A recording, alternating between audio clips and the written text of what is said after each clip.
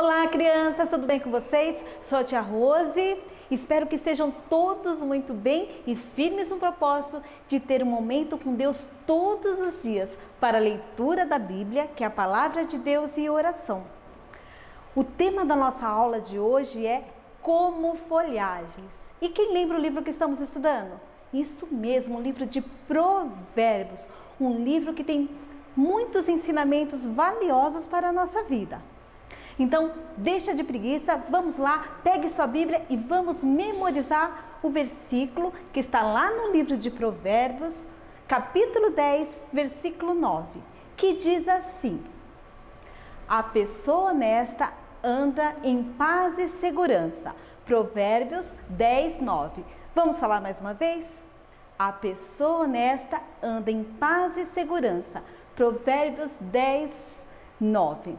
Então, continuem aí, fiquem firmes para louvar e aprender um pouco mais a viver em honestidade. Beijo, crianças! O terceiro rei de Israel foi Salomão, que reinou depois do rei Davi. Teve um desejo especial e ele conseguiu coming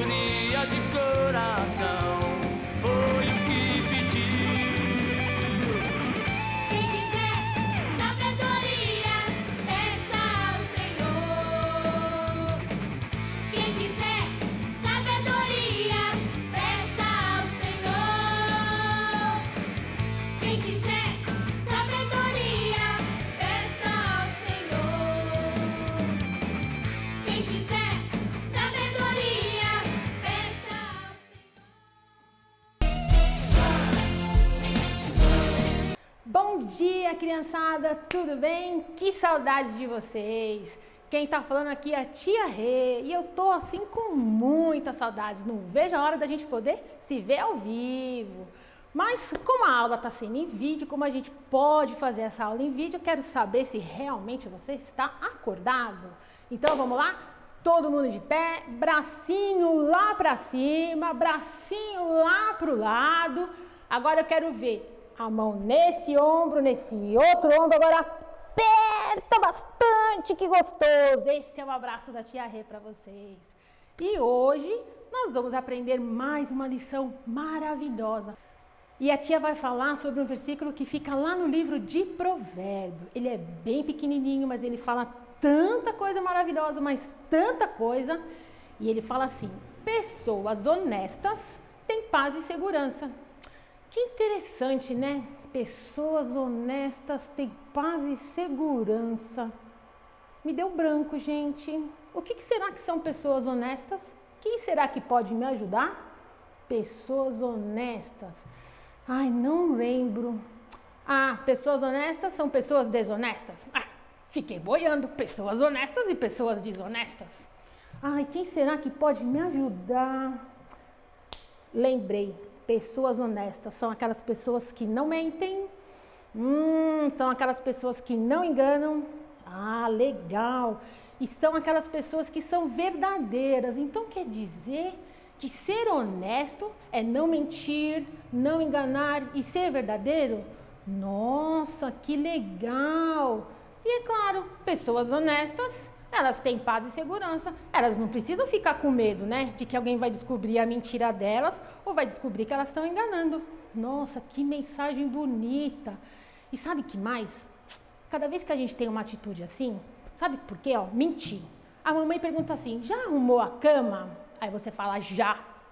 Você arrumou mesmo a cama ou você enganou a mamãe e tentou mentir?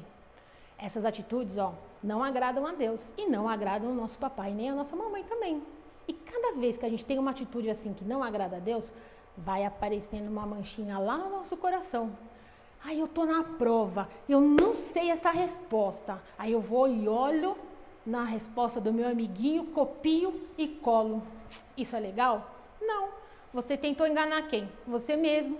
E você mentiu, porque a resposta não era sua. E isso também deixa uma manchinha lá no seu coração. Mas Deus, Ele é tão bom, mas Ele é tão bom, Ele é tão maravilhoso, que na Bíblia nos ensina como que a gente faz para tirar essas manchinhas do coração. Sabe como é que é? É só nós reconhecermos que nós estamos errados, que nós mentimos, que nós fomos, que nós enganamos, que nós somos desonestos, que sabe o que, que acontece? A gente ora e pede o quê? Perdão para Jesus e Jesus tira todas aquelas manchinhas do nosso coração, do nosso coração. Ele vai lá e deixa limpinho, limpinho, limpinho. É isso que Deus nos ensina. E isso agrada muito a Deus. E nossos pais também ficam muito felizes quando nós somos honestos. Olha que legal. E assim a gente pode ser igual aquelas árvores lindas, aquelas árvores com aquelas folhas verdes, a gente pode crescer, prosperar, por quê? Nós estamos caminhando junto com Deus, porque Deus, ó, não se agrada, não gosta do pecado, mas ele gosta que nós sejamos o quê? Honestos e verdadeiros. Gostaram da lição? Então, fica aí, ó. Hashtag fica a dica, hein? Sejamos honestos. E se gostou da lição, dá lá um joinha lá, vai lá e dá um clique lá, uma curtidinha pra gente, tá bom? Beijão, até a próxima! Olá, crianças, tudo bem com vocês? Bom, hoje na lição nós vimos que Salomão falou sobre a importância da honestidade e disse também que aquele que é honesto demonstra os frutos que Deus coloca em nossas vidas. E ele nos compara com as folhagens de uma árvore. Por isso, para hoje eu vim propor essa atividade para vocês. Olha só, para fazer a nossa árvore frondosa, cheia de folhagens e super saudável, eu proponho que vocês peguem aí na casa de vocês qualquer tipo de papel que vocês tiverem. Gente, pode ser qualquer papel mesmo. Sulfite utilizado, revista, panfleto, o que tiver na mão, tá bom? Eu separei algumas folhas mais em tons verdes e uma com um tonzinho mais marrom para a gente fazer o tronco, tá bom?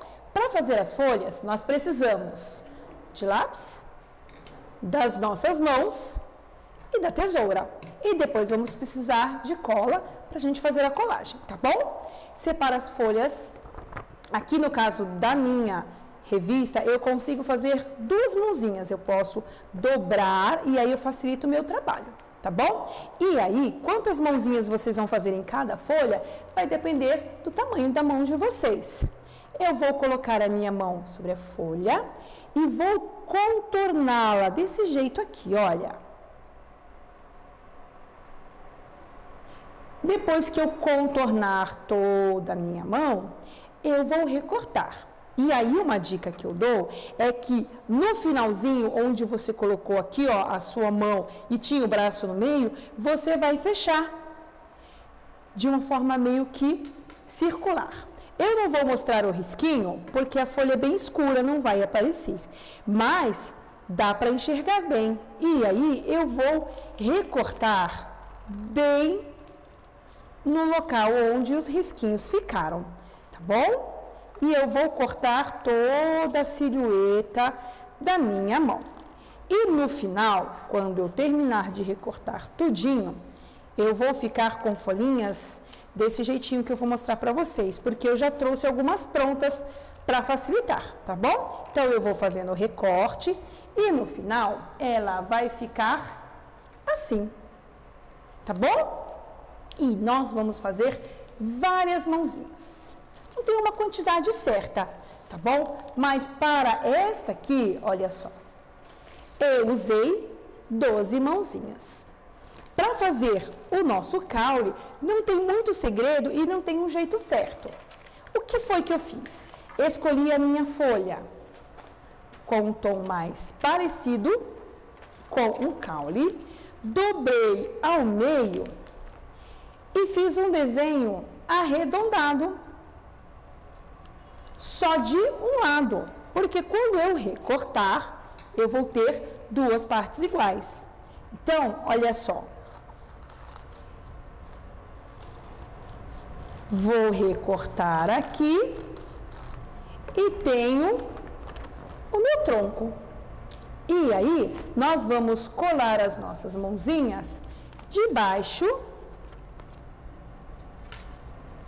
para cima.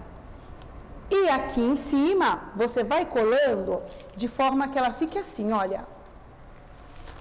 Bem arredondada, tá bom? Abre mais aqui embaixo e deixa mais fechadinha.